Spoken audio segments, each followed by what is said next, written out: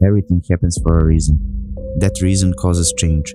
Sometimes it hurts, sometimes it's hard, but in the end, it's all for the best.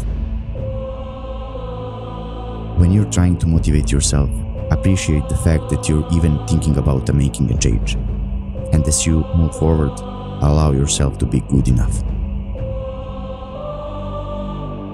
When your obstacles arise, you change your direction to reach your goal. You do not change your decision to get there. Do not compare your results to someone else's. You can never be another person. You can only be a better version of yourself.